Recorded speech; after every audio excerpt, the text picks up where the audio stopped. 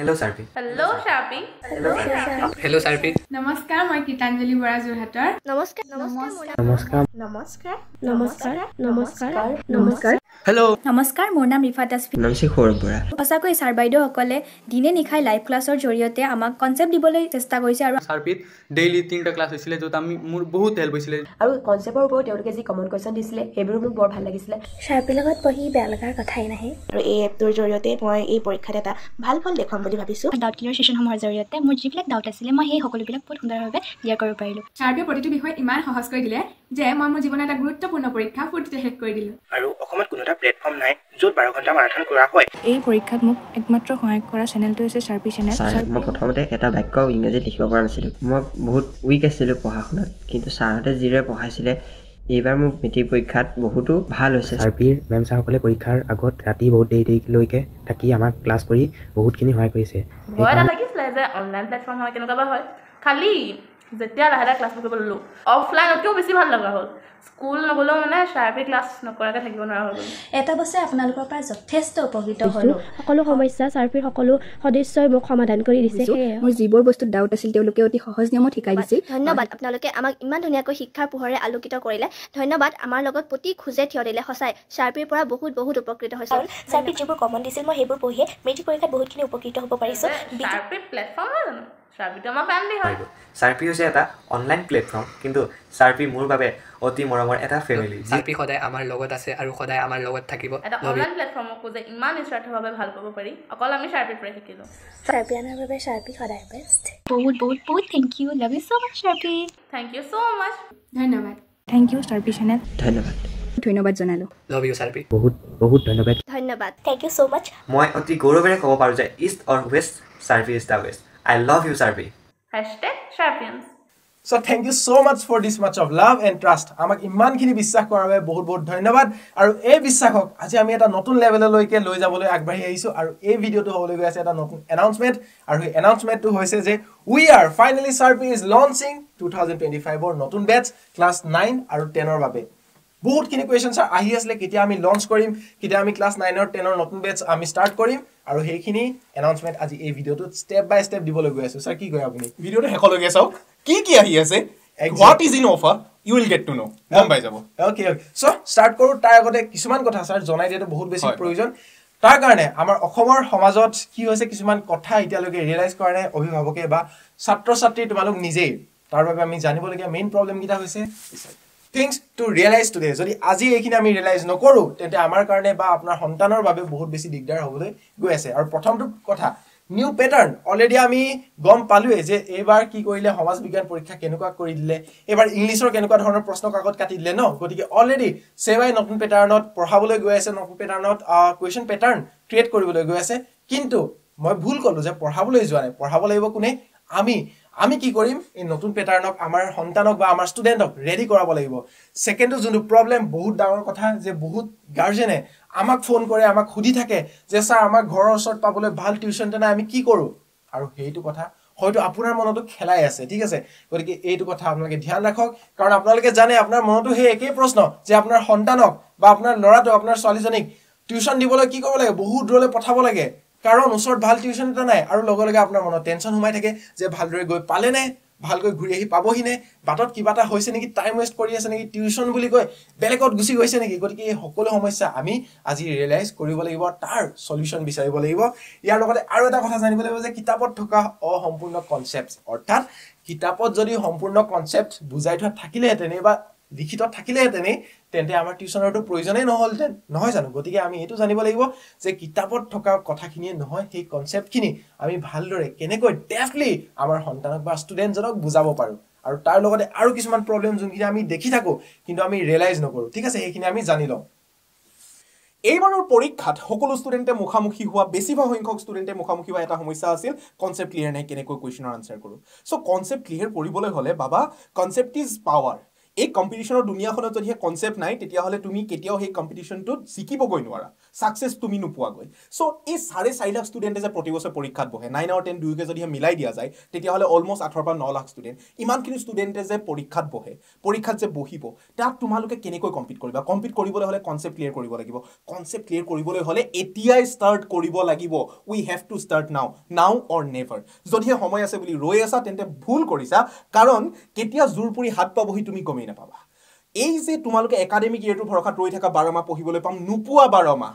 কাৰণ academic year আজিকালি ছুটি হৈ গুচি গ'ল। আৰু তাৰ মাজতে বন্ধ বিভিন্ন খেলি মেলিৰ মাজে বহুখিনি সময় পাৰ হৈ গুচি যাব। গতিকে তাৰ আগতীয়াকৈ তোমালোকে নিজক সাজু কৰিবলৈ আৰম্ভ কৰি দিয়া। এতিয়াই আৰম্ভ কৰা। আৰু যদিহে এতিয়াই আৰম্ভ কৰা তেন্তে পিছত পস্তাব লগা নহয়। গতিকে এই সকলো প্ৰব্লেম যদি আমি ৰিয়েলাইজ কৰিলোঁ তেন্তে তাৰ চলিউশ্যন বিচাৰিবলৈ আমি জানিব লাগিব। আৰু সেই চলিউশ্যন ক'ত? ৱেল তাৰ কাৰণে চাৰ্পি ইজ অলৱেজ হিয়াৰ অসমৰ এক লাখৰো অধিক ষ্টুডেণ্টৰ মনৰ ভৰসা আমি বা গাৰ্জেনৰ ভৰসা আমি দিব পৰা বা সেই বিশ্বাস আমি ৰাখিব পৰা ট্ৰাষ্টেড প্লেটফৰ্মে হৈছে চাৰ্পি আৰু চাৰ্পি আপোনালোকলৈ কেনেকৈ এই চলিউশ্যন লৈ আহিছে তাৰ এটা সৰু সুৰা পইণ্ট দেখাই থৈ যাওঁ। ঠিক আছে? গতিকে চাৰ্পিত প্ৰথমে পাব quality concept with two D three D animations অৰ্থাৎ চাৰ্পি হৈছে প্ৰথমটো প্লেটফৰ্ম অসমত যিয়ে টু ডি আৰু three D animation technology use কৰি ষ্টুডেণ্টক কনচেপ্ট ক্লিয়াৰ কৰাত সহায় কৰে। সেই যে ক'লোঁ কনচেপ্ট ইজ পাৱাৰ ছাৰে কৈ গ'ল সেই কনচেপ্ট কেনেকৈ আমি দিওঁ? টু ডি থ্ৰী ডি এনিমেশ্যনৰ সহায়ত। অৰ্থাৎ যাতে ষ্টুডেণ্টে খৰচী মাৰি এটা কনচেপ্ট বুজি পায় এটা টপিক বুজি পায় আৰু যাৰ ফলত যেনেকুৱা ধৰণে কুৱেশ্যন নাহক সেয়া টেকেল কৰিব পাৰে তাৰ কাৰণে আমি কি ইউজ কৰোঁ এটা ডাঙৰ টেকনলজি এটা ডাঙৰ এ আই ইউজ কৰোঁ যাতে সেয়া সহজ হৈ উঠে। আৰু অসমত আমি গৰ্বৰে কওঁ যে চাৰ্পিয়ে হৈছে একমাত্ৰ প্লেটফৰ্ম য'ত two D three D animation আমি প্ৰভাইড কৰোঁ। তাৰ লগতে আমি কি কৰি আছোঁ ৰেকৰ্ডেড ভিডিঅ' অৰ্থাৎ recorded topic wise video' classes আমি চাৰ্পিত আমাৰ এপত কি কৰোঁ আমি প্ৰত্যেকটো ছাবজেক্টৰ প্ৰত্যেকটো টপিকত আমি এটা এটা ভিডিঅ' লেকচাৰ প্ৰভাইড কৰি থৈছোঁ যাতে ষ্টুডেণ্টে যেনেকুৱা সময়তে নহওক। যেতিয়াই মন যায় যেতিয়াই সুবিধা হয় এই টপিককেইটা চাই নিজৰ মনৰ ডাউট ক্লিয়াৰ কৰিব পাৰে। আৰু পৰীক্ষা সময়ততো কথাই নাহে শ্বৰ্ট ৰিভিজনটো তাত থাকেই ৰাইট চ' তাৰ উপৰিও আমি কি কৰি আছোঁ লাইভ ক্লাছেছ আৰু সেই live class out of the box so' Sarpia হৈছে অসমৰ এক নম্বৰ প্লেটফৰ্ম বা এটা এডুকেশ্যন প্লেটফৰ্ম যিয়ে ডেইলি লাইভ ক্লাছ প্ৰভাইড কৰি আছে নট অনলি অন ইউটিউব অকল ইউটিউবতে নহয় আমি আমাৰ যোনটো এপ আছে এপত স্পেচিয়েল লাইভ ক্লাছ প্ৰভাইড কৰোঁ যাতে ষ্টুডেণ্টৰ বেছ আৰু বেছি ক্লিয়াৰ হয় আৰু বেছি ষ্ট্ৰংগাৰ হয়। চাৰ্পি এগেইন কৈ আছোঁ একমাত্ৰ অনলাইন প্ৰতিষ্ঠান বা একমাত্ৰ অনলাইন প্লেটফৰ্ম যিয়ে daily daily daily live class কৰে এভৰি ডে আৰু তাৰ ফলত কি হৈছে ষ্টুডেণ্টৰ মনৰ যিকোনো ডাউটছ কনচেপ্ট ক্লিয়াৰ নাই হোৱা চব ক্লিয়াৰ হৈ গৈ আছে। তাৰ উপৰিও আমি অকল ইয়াতে ৰখা নাই গতিকে কনচেপ্টৰ লগে লগে আহি পৰিল পৰীক্ষাৰ কথা পৰীক্ষাৰ লগে লগে আহি পৰিল নতুন পেটাৰ্ণৰ কথা। সন্মানীয় শিক্ষামন্ত্ৰী ডাঙৰী এইটো কথা স্পষ্ট কৰি দিছে যে আহি থকা সময়খিনিত পৰীক্ষা সহজ নহয় জটিল হ'বলৈহে গৈ আছে। ইয়েছ উই ন কাৰণ ৰাষ্ট্ৰীয় পৰ্যায়ত যোৱা মোকাবিলা কৰিব লাগিব ইণ্টাৰনেশ্যনেল পৰ্যায়ত মোকাবিলা কৰিব লাগিব। ইণ্টাৰনেশ্যনেল পৰ্যায়ত ৰাষ্ট্ৰীয় পৰ্যায়ত যদিহে কম্পিট কৰিবলৈ হয় তেন্তে নিজক কনচেপ্টেৰে সজাই তুলিব পাৰিব লাগিব। কনচেপ্ট যদিহে ক্লিয়াৰ থাকে আই টি জে ডাব্লিউৰ নিচিনা এক্সাম নিটৰ নিচিনা এক্সাম চি ইউ টিৰ নিচিনা এক্সাম ভাতৰ লগত পানী খোৱা কাৰোবাৰ হৈ পৰিব। আৰু কনচেপ্ট ক্লিয়াৰ কৰিবলৈ হ'লে ওৱান ষ্টপ অফ চলিউশ্যন এই মুহূৰ্তত অসমৰ ষ্টুডেণ্টসকলৰ কাৰণে ইংৰাজী আৰু অসমীয়া দুয়োটা মাধ্যমতে কেৱল চাৰ্পি এতিয়া যদিহে চাৰ্পিত তুমি পঢ়িছাই তেতিয়াহ'লে তুমি কিমান সাজু হৈছা তুমি কিমান প্ৰিপেয়াৰ হৈছা সেয়া কেনেকৈ গম পাবা? সেয়া গম পাবলৈ হ'লে তুমি দিব লাগিব মক টেষ্ট মক টেষ্ট ক'ত থাকিব? চাৰ্পিত থাকিব। ক'ত ক'ত পাবা? প্ৰতিটো ইউনিটৰ শেষত প্ৰতিটো চেপ্টাৰৰ শেষত প্ৰতিটো ইউনিট তুমি ক্লিয়াৰ কৰিলা তাৰপাছত তুমি মক টেষ্ট দিলা আৰু গম পালা যে তুমি কিমান আগবাঢ়িছা তুমি কিমান পিছ পৰি আছা। ত' হোৱাই ফিয়াৰ ডৰনা কিয় হে ভাই চলো অৰ কুচ বাতে ক্লিয়াৰ কৰি লেতে চ' ইয়াৰ পাছতে আমি ক'ম কেনেকৈ আমাৰ লগত এডমিশ্যন লোৱা ষ্টুডেণ্টসকলক আমি হেল্প কৰিম। সেয়া হৈছে ষ্টাডি মেটেৰিয়েলছ অৰ্থাৎ আপোনালোকৰ সন্তানে বা তোমালোকে যিসকলে পঢ়িবলৈ গৈ আছা আমাৰ লগত তোমালোকে জানা যে তোমালোকে যেতিয়া এদিন ক্লাছ মিছ কৰা কি কৰিব লাগে?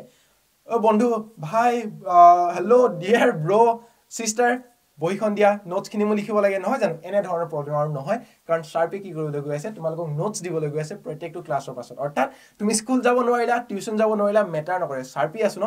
তোমালোকক আমি নোটছ প্ৰভাইড কৰিম যাৰ ফলত তোমালোকে টেনশ্যন নলগৈ বা আপোনাৰ সন্তানে মাত্ৰ এটা গ'লত ফ'কাছ কৰিব লাগে আৰু সেই গ'লটো হৈছে যে মই কেনেকৈ আগবাঢ়ি যাওঁ সেই চাৰে চাৰি লাখ ষ্টুডেণ্টৰ পৰা। ঠিক আছে? গতিকে সেইখিনি হেল্প কৰিম আমি শ্বাৰ্পিয়ে ইয়াৰ লগতে আহিব গাইড ছেশ্যনছ যিহেতু অলৰেডি কৈ থৈছোৱে doubt clearing sessions already provide কৰিম কিন্তু ইয়াৰ লগতে আমি দিম গাইড ছেশ্যন এইটো সময়ত ধ্যান ৰাখিবলগীয়া কথা যে এই বয়সটোত এজন ষ্টুডেণ্টৰ বহুতখিনি মেণ্টেল ইছ্যুজ আহিব পাৰে। মেণ্টেলি আনষ্টেবল হ'ব পাৰে। ইনফেক্ট ডিপ্ৰেশ্যনত যোৱাৰো চান্স থাকে। আৰু সেইখিনিৰ বাবে এজন ষ্টুডেণ্টৰ প্ৰয়োজন কি হয়? এজন মেণ্টাৰ বা গাইড বা এজন ফ্ৰেণ্ডৰ আৰু সেইখিনিতে আহোঁ চাৰ্পি চাৰ্পিয়ে কি কৰে? গাইড ছেশ্যনছ কিছুমান ৰাখে যাৰ ফলত এজন ষ্টুডেণ্টৰ সেই মেণ্টেলি যিকেইটা প্ৰব্লেম হয় বা আনষ্টেবল যিখিনি মনৰ কথা ক'ব বিচাৰে সেয়া আমি হেল্প কৰোঁ যাতে তেওঁলোকে সেইখিনি ছল্ভ কৰি মাত্ৰ এটা নিজৰ গ'লত আগবাঢ়িব পাৰে।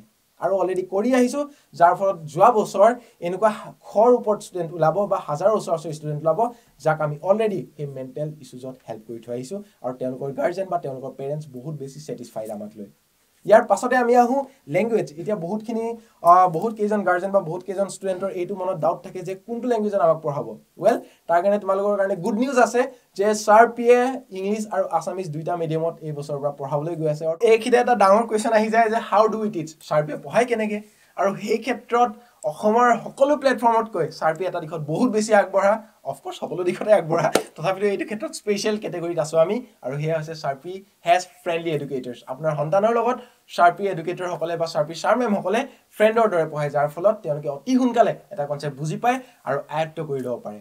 আৰু সেইখিনিতে আহে ছাৰ পি পঢ়িবলৈও ছাৰ পি আৰু ভৱিষ্যত গঢ়িবলৈও ছাৰ পি ছাৰ পিয়ে যিহেতু আমাক আমি অলৰেডি কৈ আহিছোঁ যে আই আই টি হওক নিট হওক বা এজন ইঞ্জিনিয়াৰ হ'ব বিচাৰিছে ডক্টৰ বনিব বিচাৰিছে চি ইউ ডি এক্সাম দিব বিচাৰিছে আমি সকলোখিনি বেষ্ট যোনটো থাকে ন বোলে শিপাডাল শিপাডাল এতিয়াৰ পৰাই আপোনালোকৰ বাবে প্ৰিপেয়াৰ কৰি লৈ গৈ আছোঁ। আৰু সেয়াই হৈছে চাৰ্পিৰ ষ্টাইল বা চাৰ্পিৰ মটো যে চাৰ্পিত পঢ়িবলৈও চাৰ্পি আৰু ভৱিষ্যত গঢ়িবলৈও চাৰ্পি চ' এই সকলোবোৰ লক্ষ্য আৰু উদ্দেশ্য আগত ৰাখি চাৰ্পিয়ে ফাইনেলি লঞ্চ কৰিবলৈ গৈ আছে। Three two one Lachit batch so' rise and shine we are launching Lachit batch অৰ্থাৎ ছাৰ লাচিত বেটছ কি এতিয়া আপুনি কৈ দিয়ক? চ' লাচিত যেনেকৈ লাচিত বৰফুকনে দেশৰ কাৰণে নিজৰ প্ৰাণ দিছিল ষ্টুডেণ্টে প্ৰাণ দিব নালাগে। কিন্তু লাচিতৰ যি নিজৰ দেশৰ প্ৰতি ভাল পোৱা আছিল তাৰ অকণমানো যদিহে নিজৰ পঢ়াৰ প্ৰতি নিজৰ কেৰিয়াৰৰ প্ৰতি নিজৰ জীৱনৰ প্ৰতি আমি আনিব পাৰোঁ তেতিয়াহ'লে আমাৰ জীৱনলৈ সফলতা নিশ্চিত ৰূপত আহিব। আৰু ষ্টুডেণ্টৰ মনলৈ সেই মাইণ্ডছেটটো আনিবৰ কাৰণে তেওঁলোকে পাই থকা যিকোনো ধৰণৰ সমস্যা নোহোৱা কৰিবলৈকে ছাৰ পিয়ে মুকলি কৰিছে বছৰটোৰ প্ৰথমটো বেটছ লাচিত বেটছ আৰু আমি এনেই হাৱাতে বেটছ লঞ্চ কৰা নাই যোৱা দুবছৰে এক লাখৰো অধিক ছাত্ৰ ছাত্ৰীক পঢ়াইছোঁ আমি। ইউটিউবতে হওক এপতেই হওক। যোৱা দুবছৰে এক লাখ ছাত্ৰ ছাত্ৰীৰ অভিভাৱকৰ মৰম পাইছোঁ বিশ্বাস পাইছোঁ। সেই মৰম আৰু বিশ্বাসক আধাৰ কৰিয়েই আমি মুকলি কৰিছোঁ বছৰটোৰ প্ৰথমটো বেটছ অসমৰ ছাত্ৰ ছাত্ৰীসকলৰ কাৰণে our very own Lachit batches আৰু এই লাচিত বেটছ জইন কৰা যোনটো ছাৰে ক'লে যে এক লাখৰো অধিক ছাত্ৰ ছাত্ৰীয়ে আমাক অলৰেডি বিশ্বাস কৰিছে আৰু তাৰ প্ৰুফ ক'ত আছে? আমাৰ YouTube channel already we have cross hundred K subscribers so' Sarpia হৈছে অসমৰ fastest growing ed tech platform ঠিক আছে? গতিকে এতিয়া আমাৰ লগত এই লাচিত বেটছত জইন হ'বলৈ আপোনালোকে বা তুমি কি কি কৰিব লাগিব? তাৰ কাৰণে দুটামান কথা জানি লোৱা যে লাষ্ট ডেট টুৱেণ্টি মাৰ্চ হয় এই বেটছত জইন কৰিবৰ বাবে। কিন্তু তাত এটা বহুত ডাঙৰ পইণ্ট আছে। তোমালোকে যদি পোন্ধৰ মাৰ্চৰ আগত আমাৰ লগত কণ্টেক্ট কৰা বা এই এই বেটছটোত এডমিশ্যন ল'বলৈ আগবাঢ়ি যোৱা তেন্তে you will get seventy five percent flat discount right now যদি এতিয়াই লোৱা এডমিশ্যন আমাৰ লগত তেন্তে ছেভেণ্টি ফাইভ পাৰ্চেণ্ট অফ পাবা ডিছকাউণ্ট পাবা একো কুৱেশ্যন নুসুধো ডাইৰেক্টলি তোমালোকে এডমিশ্যন ল'ব পাৰিবা আৰু বেটছটো ষ্টাৰ্ট হ'ব এক এপ্ৰিলৰ পৰা আৰু লগতে এডমিশ্যন কেনেকৈ ল'বা তাৰ কাৰণে কল নাইবা হোৱাটছএপ মেছেজ কৰা এই চাৰিটা নম্বৰ দিয়া আছে নাম্বাৰকেইটা লগতে ডেছক্ৰিপশ্যনতো লিখি দিয়া আছে ভিডিঅ'টো ঠিক আছে ডেছক্ৰিপশ্যনটো চাই ল'ব পাৰা এই চাৰিটা নম্বৰত কল কৰা যে নাইবা মেছেজ কৰা যে মোক ক্লাছ নাইন বা ক্লাছ টেনত এডমিশ্যন লাগে দুহেজাৰ পঁচিছ চনৰ লাচিত বেটছত ঠিক আছে? গতিকে তোমালোকে এগেইন মনত পেলাই দিছোঁ পোন্ধৰ মাৰ্চৰ আগত যদি তোমালোকে এডমিশ্যনটো লৈ লোৱা তেন্তে তোমালোকে ছেভেণ্টি ফাইভ পাৰ্চেণ্ট ডিছকাউণ্ট পাবা। আৰু ইয়াৰ প্ৰাইচিং চাইচিং চব ইয়াত ফোন কৰিবা আমাৰ টীমে তোমালোকক হেল্প কৰি দিব এ টু জেড হেল্প কৰিব ঠিক আছে? টেনশ্যন নিলে এনেকুৱা আৰু লগতে লাষ্ট ডেট কিন্তু মনত ৰাখিবা লাচিত বেটছৰ কাৰণে লাষ্ট ডেট হৈছে বিছ মাৰ্চ কাৰণ আৰু আমাৰ হাতত সময় নাই আমি বেট ষ্টাৰ্ট কৰিব লাগে আমাৰ ষ্টুডেণ্টসকলক আমি আগবঢ়াই লৈ যাব লাগে। আৰু তিনি মাহৰ ভিতৰত আমি তোমালোকক তোমালোকৰ হাফ ইয়েৰলিলৈকে সম্পূৰ্ণৰূপে প্ৰিপেয়াৰ কৰি দিম। আৰু এয়ে আমাৰ চাৰ্পিৰ এটা ভৰসা বা এটা প্ৰমিজ গতিকে তোমালোকে জাষ্ট কল হিয়াৰ মেছেজ হিয়াৰ হোৱাটছএপত মেছেজ কৰিবা। যদি কলত নোপোৱা এইটো নম্বৰ নাপালে সিটো নম্বৰত কৰা সিটো নম্বৰ নাপালে এইটো নম্বৰত কৰা। মুঠতে তোমালোকে লাচিত বেটছত জইন কৰা। আৰু এগেইন ইয়াৰ লাষ্ট ডেট হৈছে টুৱেণ্টি মাৰ্চ ইয়াৰ পিছত আমি এই বেটছত এডমিশ্যন ল'ব নোৱাৰোঁ। কাৰণ আমি অলৰেডি ষ্টুডেণ্টক ষ্টাৰ্ট কৰিবলৈ হৈ গ'ল। কাৰণ টাইম আমাৰ হাতত বেছি নাই। কিন্তু এইখিনিতে এটা কথা কথাটো হৈছে কি যে যিটো বেটছ এক এপ্ৰিলৰ পৰা আৰম্ভ হ'বলৈ গৈ আছে সেই বেটছটোত এক তাৰিখৰ পৰা পঢ়িবলৈ আৰম্ভ কৰিবলৈ হ'লে তুমি বিছ তাৰিখৰ আগত মাৰ্চৰ বিছ তাৰিখৰ আগত তুমি এডমিশ্যন ল'ব লাগিব। তাৰ পাছত যিসকলে এডমিশ্যন ল'ব বিচাৰিবা তেখেতলোকে সেই বেটছটোত পঢ়াৰ সুবিধা নাপাবা। So' why do you have to waste time তুমি ৰ'ব লাগে কিয়? এতিয়াই এডমিশ্যন লোৱা আৰু এডমিশ্যন লৈ সাজু হৈ থাকা কলম গোটোৱা কাগজ গোটোৱা কিতাপ গোটোৱা। কাৰণ আল্টিমেট চলিউশ্যন লৈতো চাৰ্পি আহি আছে এক এপ্ৰিলৰ পৰা। গতিকে ব'লা আমি এপত লগ হওঁ কাৰণ এতিয়া সময় হৈছে নিজৰ ভৱিষ্যত গঢ়াৰ।